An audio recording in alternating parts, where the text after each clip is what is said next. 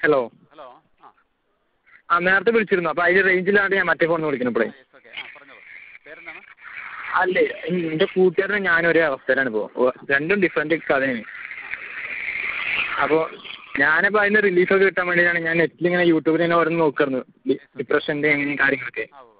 അപ്പോൾ അങ്ങനെ നിങ്ങൾ അങ്ങനെ നിങ്ങൾ വീഡിയോ കണ്ടു. അപ്പോൾ ഞാൻ നമ്പർ കണ്ട് വിളിച്ചതാണ്